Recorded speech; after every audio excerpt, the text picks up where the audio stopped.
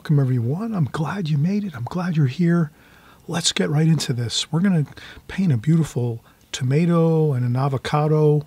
We're going to use juicy, moist paint. We're going to have a good time here. So I have a uh, just a you know regular office pencil or school pencil, and um, I'm going to use a uh, Da Vinci um, Kolinsky round brush.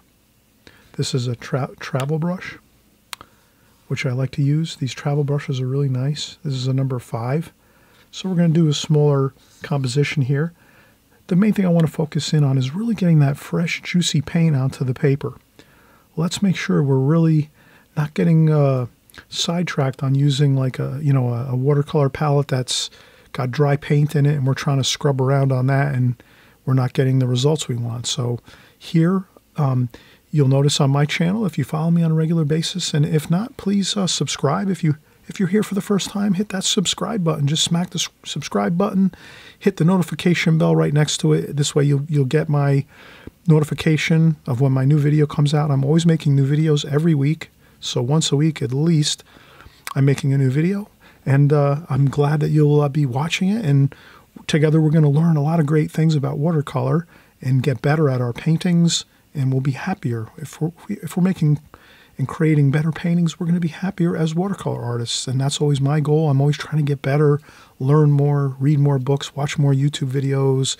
Uh, you know, always on the uh, hunt for more information. Information is really the key here. Information's power. So let's get right into it here. So we have our watercolor brush ready to go. We have our pencil. And we're just going to do, uh, let's do a simple, we'll do a tomato first. So let's start out, we'll do a nice tomato. We have the garden here at my house. I have a garden and uh, grow tomatoes in the springtime and summertime. Now is harvest time. We're harvesting our tomatoes. So we're going to have the light coming from here. From this side, we'll make a little light spot there. And we'll make a little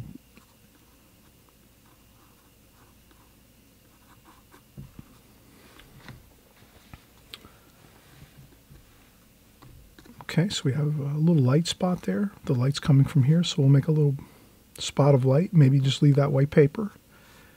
And we have our tomato shadow. We're all set. So that's a simple tomato shape. Now the thing I wanted to kind of really impress here is let's let's think about this real carefully. To make a really beautiful tomato, we're going to need rich, vibrant, exciting color. Um, we don't want to have a situation where, where this happens. And I'll let me find my palette that sits out and does not have fresh paint in it. Let me see if I can find that. Okay, so now this is my palette with dried paint where I haven't um, squeezed fresh paint into it. There's there's two ways. There's probably many ways, but there's basically two ways I know of that are really obvious of how to keep your palette with fresh, moist paints in it.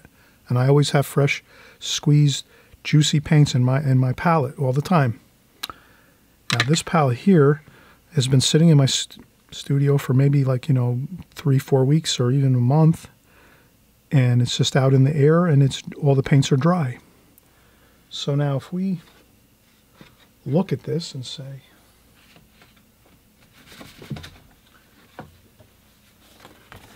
How is this going to look if we use dried paints? So if we add some water to our brush and we put some okay we get some of that.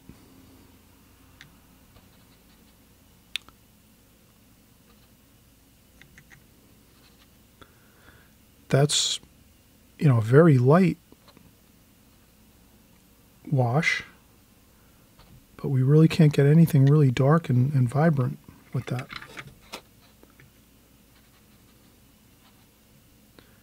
Okay, let's try another color. Let's use uh, alizarin crimson. Same thing. dried paints will only get you this kind of look if you don't have fresh, juicy paints in your palette. So this limits your the look of your watercolor if you're only using dried paints and you're not using fresh, juicy paints like my main palette that I use all, all the time. So you can see how that looks faded and kind of dull. And, uh, you know, this type of wash is good when you're using or when you're doing light washes. But usually when you're doing watercolors, you're always going to need darks too. These are this is very light. So we need darks in our paintings. Dark tonal values because that's what's in real life. If we look at a real tomato, we're not going to see this kind of a red if we look at a, a tomato that's just been, if we go into our garden and we grab a tomato and we look at it, we say, that, that doesn't look like a, a, the color of a tomato at all. It's too light. So how are we going to get that beautiful tomato? The color, the beautiful, exciting, vibrant color. We have to have fresh, ju juicy paints. So these dried palettes where there's no fresh, juicy paint, we're not going to get a good result with our paintings. So let's uh, make sure we have fresh, juicy paint in there. If you have to squeeze it, so the, the two ways you can do it are one, each time you go to paint, you squeeze in fresh paint with your tubes. Just a simple, quick. I keep I keep two plastic bags with my paints. Cool colors, blues, purples, greens. That's my one bag of tube paint. Then I have my warm colors in the other Ziploc bag, and that's the, you know, yellows, reds, browns, umbers. So I keep my uh, colors warm and cool in two different bags. And then, so if you want to, you can keep your paints organized, and then each time you go to paint, you can squeeze a little bit of paint in your palette on each of your colors you're going to use and that'll work. You, will always have your fresh, juicy paint as you paint. But if you paint quite often, maybe once every day or once every couple days, that gets to be a little much, always opening up and closing your paint tubes. So that's why I suggest using maybe a piece of small paper towel that you moisten. You put in your palette, you close up your palette, you put it in a plastic bag, and then you set it in the refrigerator in a cool place or by a cool window in the wintertime. In the summertime, if it's really hot, maybe inside the refrigerator. That's what I do. So that's just a little tidbit of information of how I keep my palette and my paints moist. I also have another channel uh, on YouTube called Watercolor in 5. If you go to Watercolor in 5 and you just tap in uh, palette, you'll see I have like three or four palette videos. And that describes how exactly how I keep my paints nice and moist. So if you just type in watercolor in 5 and type in the word palette, you'll find some really cool uh, videos on that. So I'm hoping you'll check that out. And uh, that's a great resource for you to uh, check out the way I uh, set up my palettes, the colors I use. I also have the um, how how to keep your palettes with your paints fresh and moist. That, so that's what you need for your paintings to have that. And um, also, too, if you're just new here and you haven't ever subscribed, please uh, consider subscribing on my channel here. Just hit the subscribe button down below. And this way you'll you'll get my new videos every week. We're making videos every week here, the whole enchilada every week. We do landscapes, seascapes. We do tutorials like this with techniques, methods, process. Also, we do boats, flowers, figure painting. We do it all. So just to let you know, if you subscribe, you'll be getting interesting content every week, once a week at least, sometimes twice a week. All right, let's get right back into it here. So we're saying here we want to make sure we have fresh, fresh paint, moist paint in our palette. That's the first thing. And then the second thing we want to make sure is our brush. We're, we're using a round brush here, a natural hair brush.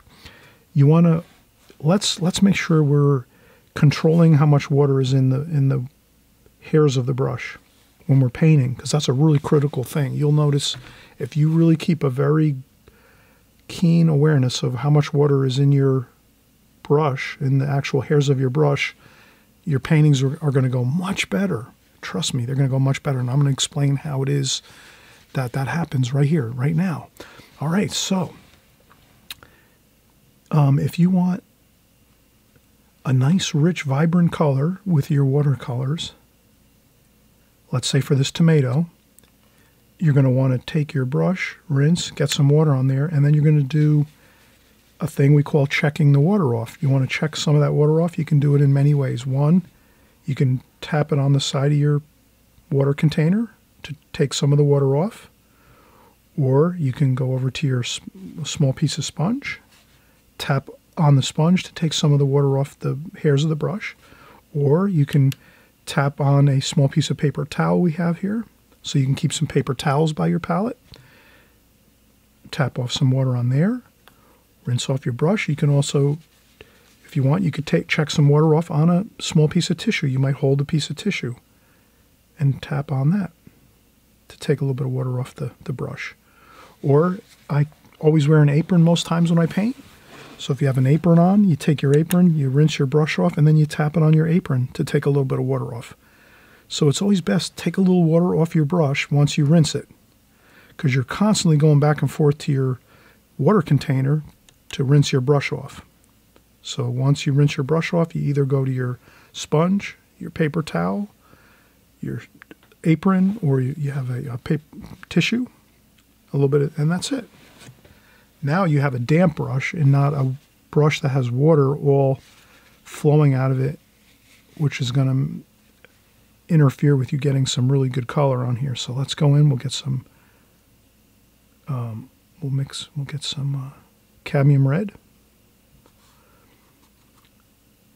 We'll use some cadmium red here. See that rich, exciting color, right? Look at that. Perfect. Maybe uh, we rinse off the brush, tap on the sponge, take off some of the water, not all of it, some of it, some alizarin crimson.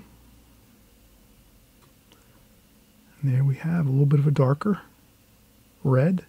Let's do it again. Rinse, check off some water on the paper towel. Maybe we'll go in and get some cobalt blue.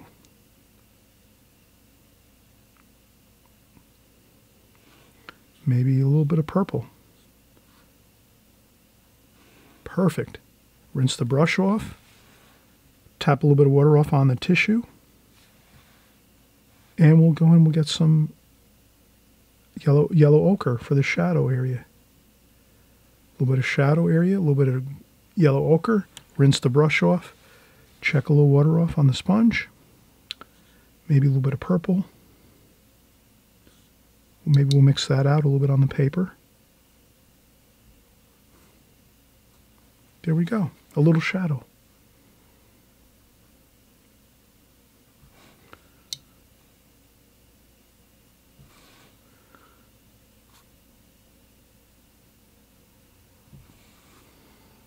Perfect.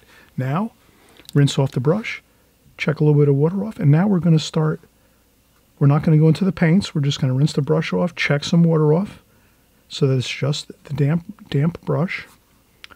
And then we'll just start to, same thing, rinse the brush off, check the water off. And we're just going to get that lighter color over here. See how that's that lighter tonal value?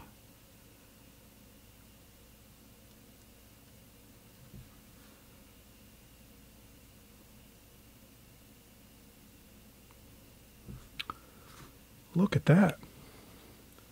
Then maybe we go with an, a little more purple. Rinse off the brush, check off the water. Purple.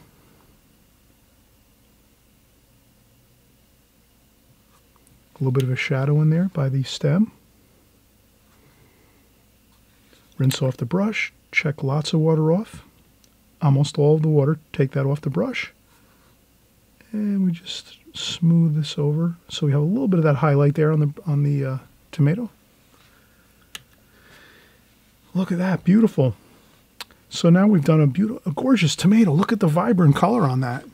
So that's exciting. We're going to come back. We're going to do a uh, avocado. Before we do the avocado, though, let's just quick do a stem, burnt umber, French ultramarine blue, burnt umber, French ultramarine blue. And let's just do a little stem. Now here, with the stem, uh, a little bit of just, there we go. Perfect, look at that.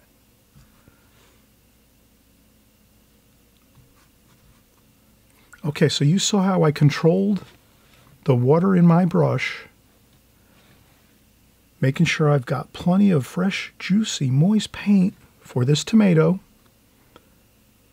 from our garden. We just picked our tomatoes today from the garden outside. It's harvest time.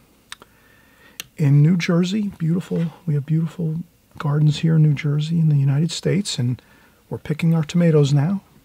So you can see how we accomplished getting these fresh, moist, juicy colors onto the watercolor paper, and that's how your paintings are going to look. All right, let's take a quick break. We'll come back. We'll do an avocado. We'll go through the same process again so we really have it locked in how to get these really juicy, beautiful, exciting colors in our on our watercolor paintings. Okay? All right, let's we'll come right back.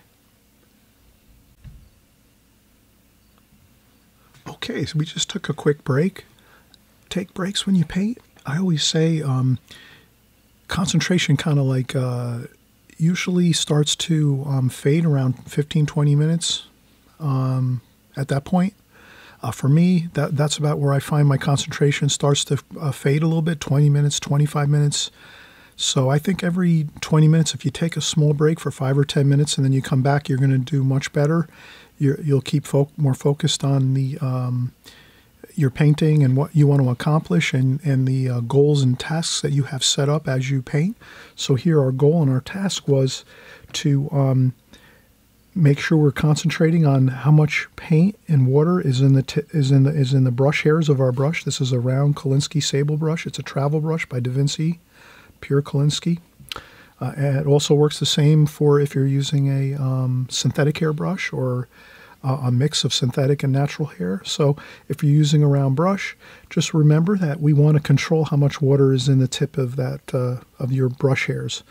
We don't want too much water in there so that the water is flowing out everywhere and kind of um, making too many puddles of water on our paper in our painting, or we don't want to have it so that our brush is completely dry and there's no water in there. We want to have some dampness and water in our uh, brush here. So that's the kind of the basics of this video is sort of getting that right, just the right amount of water and paint ratio in, in the brush as we're painting. And we did our first uh, small composition here. We did a tomato, a nice, beautiful New Jersey tomato. Tomatoes, we're actually picking them right now here in New Jersey. It's uh, harvest time. We're picking the tomatoes, the cherry tomatoes, and the um, Beefeater's tomatoes, and all those great, beautiful, tasty um, beautiful fruits, the um, tomatoes here, and we make pasta sauce with them and put them in salads and all that great stuff. So I'm sure many of you have gardens and you have a fun time gardening.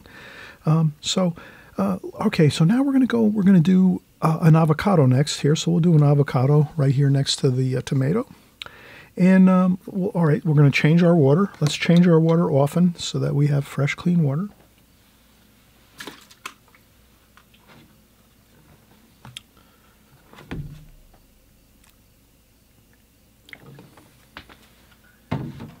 And again, we just said that we have numerous ways we can dry off our brush. We can use the edge of our brush, uh, our water container. You can kind of uh, flick the brush hairs on the water container to take some water off.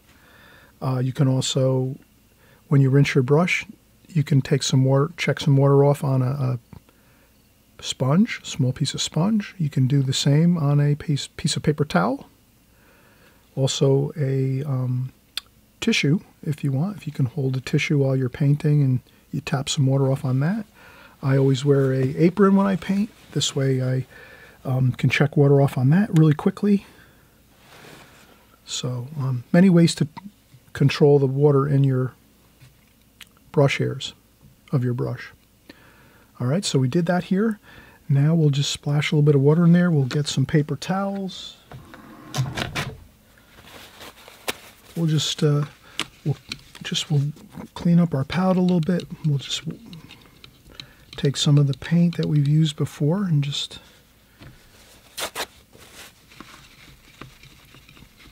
Keeping the palette clean is a great idea. This way you don't get too much muddiness in the paint colors.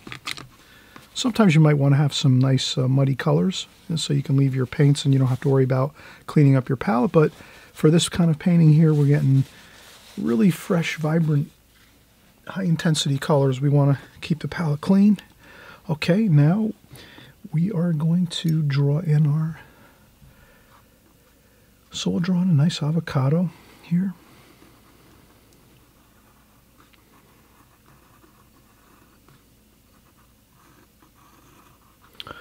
and a shadow. So we'll draw our avocado and a shadow like that. Looks good. Okay, now again we're going to keep with that consistent idea of we're not going to be able to get a good color intense you know a high intensity color and a, and a proper tonal value that we're seeing when we're painting our subject matter. This happens to be still life, some fruits and vegetables and things. We're not going to be able to get that really good color if we're um, if we're just scrubbing around on dry paint here. You can see these are dry paints that I have. So we see we can't really get good color with that. But if we have our fresh, juicy paints, we're going to be able to get those gorgeous colors we want, right? We want gorgeous, high intensity colors in our, you know, in our paintings, and we want to make sure we're really accurately, you know, when we're looking at our subject matter, whether it's you know, um, still life, landscapes, seascapes, cityscapes, whatever subject matter you're painting, you want to be able to capture that proper tonal value of, of what we're seeing. So if you need a really dark dark, it's hard to get a dark dark if our paints are dry like this see if I'm going into some palettes that are dry you know that's not really now if I pick up some fresh moist paint see how dark that is that's how we got we have to have that all right so now let's we'll get started here again same process. We rinse our brush off each time we go into the palette. We rush, rinse the brush off, check a little water off on our sponge, our paper towel. Maybe we'll use a, a tissue, whatever you want to use. Out of all these, you can use, if you have an apron on, you can use your uh, apron like this. Rinse the brush off, dry a little bit of water off on the apron. And then we go in and we get our color, green, yellow ochre, green, and uh, we'll also use some uh, cobalt blue. And that looks like that's going to be a really nice French ultramarine blue, a really good um, avocado color. All right, there we go. And you can see beautiful, intense color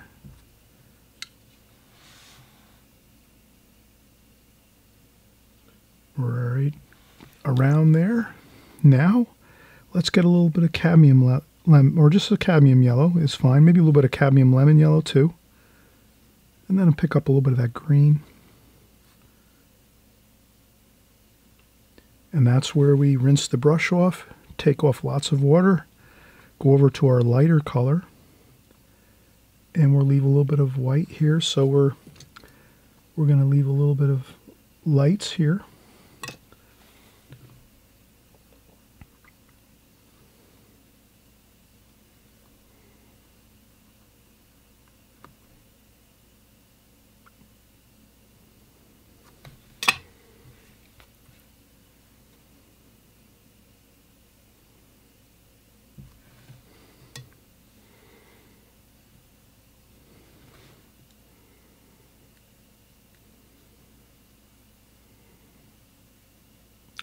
And then I just mix the color on there.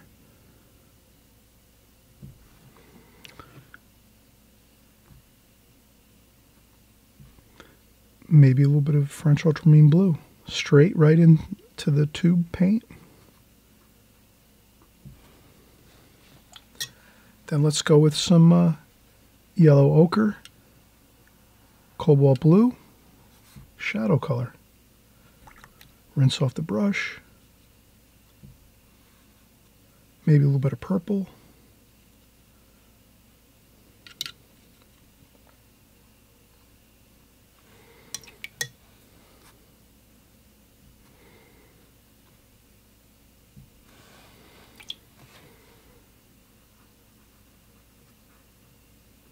There we go. A little bit of splashing.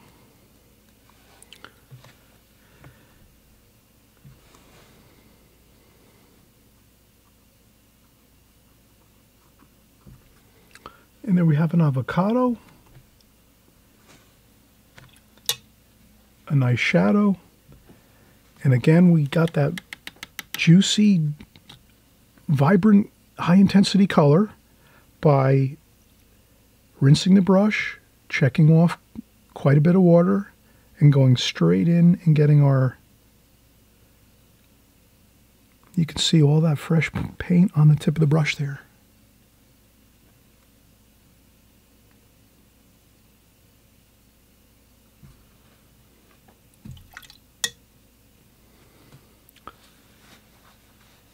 The same thing, we rinsed off the brush, checked off a lot of water on maybe the paper towel this time here.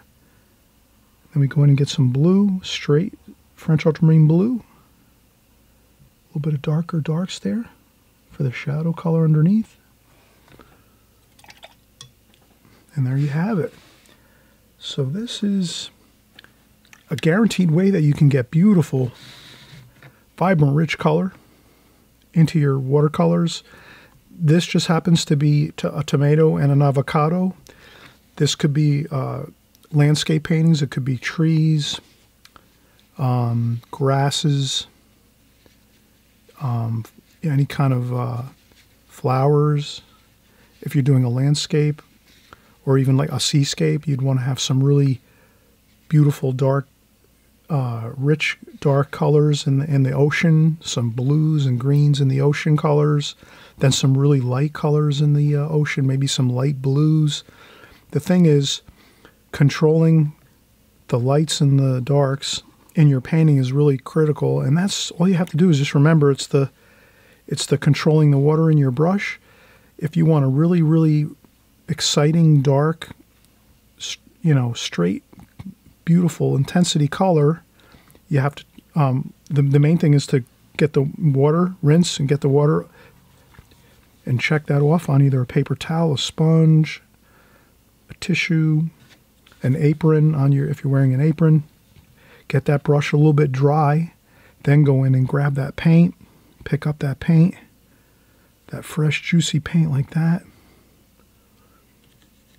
Just like that. You want to pick up lots of that goopy paint and get that onto the watercolor paper and that's going to give you those real intense colors that you want. And you'll be excited. You'll have gorgeous paintings. And all it is is just really again keeping an eye on that water how much water's in your brush hairs. And uh, so try this out have fun with it practice it do a tomato do an avocado. That's simple right couple simple items like this, then maybe try it out on your favorite subject matter that you have. You might like to do flowers, try it out in your flower paintings. The same concept. Uh, using your um, fresh, juicy paints, moist paints, freshly, uh, you know, tube paint, squeezed right out of the tube. And I have also another um, location on YouTube. It's called Watercolor in 5 uh, consider going there, Watercolor in 5. If you type in Watercolor in 5 in YouTube and then click uh, also type in palette, my palette or Chris Petri's palette, you'll find that uh, I have about another five or six videos on this channel, Watercolor in 5. That's going to show you how I keep all my palette uh, colors fresh and ju juicy and moist. I go into, you know, how to store it, I put it in a plastic bag. I explain the whole method method to how to keep your paints you know nice and, and juicy like this, so you don't have to keep squeezing fresh paint all the time when you're doing your watercolors because that can be a real pain in the neck. I know myself when I first started and I learned that I had to keep my paints like this fresh and moist. I said to myself, ah, I can't be bothered every day if I want to paint, I got to take the tubes of paint out and squeeze all the tubes into my palette. Didn't make sense to me. So that's why I learned how to, again, use the methods that I have. If you go to Watercolor in 5, again, that's my uh, second channel, Watercolor in 5. And if you type in palette Watercolor in 5, you'll find my other videos on palettes. And I also have uh, palette videos too, also on this channel, on uh, my main channel, Chris Petri, uh, watercolors here on this uh, YouTube channel. All right, so everybody, if you haven't subscribed, please subscribe. Enjoy. I make videos every week and we do all kinds of subject matter. Most times we're doing paintings. We're doing full paintings, the whole enchilada, seascapes, ocean, flowers. You know, we do um, cityscapes, buildings, we do people, we do figures, we do everything basically, but we do full paintings every week. This week I decided just to take a step back and cover the real exciting part of how to keep that brush with just the amount of perfect amount of water in there, perfect amount of paint, so you can get all your tonal values, your lights, your darks, your rich colors, and you'll be happy. You'll be creating better paintings all the time. All right, we'll see you on the next video. Have a great uh, evening, morning, afternoon, and we'll see you on the next video. Bye bye.